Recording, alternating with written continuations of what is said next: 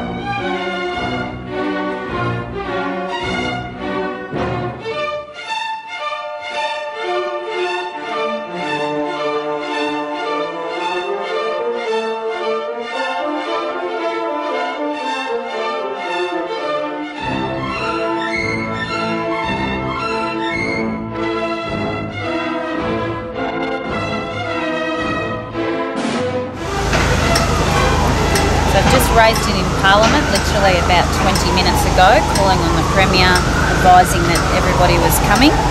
And there was hundreds more uh, expressions of concern from residents on top of the thousands that have already been um, tabled with Parliament.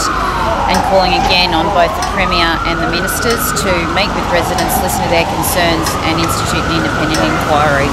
So um, it's just another disgraceful day really of silence from a group I can't do this here.